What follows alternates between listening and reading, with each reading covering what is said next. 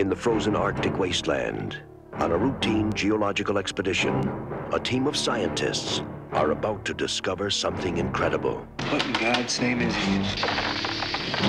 Something unexpected. All systems go? Minus four. This is worth much more than any one man. Something impossible. Temperature's shooting up. We just have to keep the lid on it for a while. Something that's a part of our past. That's brain activity. He came from somewhere.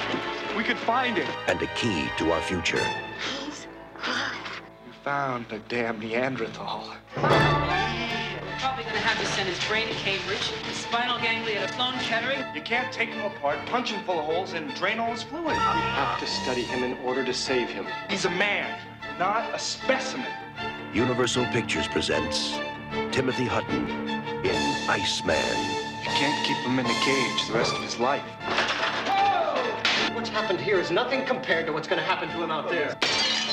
You're alienating him. We're losing contact. You've got to do something. Have you done enough? Everyone wants to own him, but only one man can save him. He's not like you or me, but he is a man.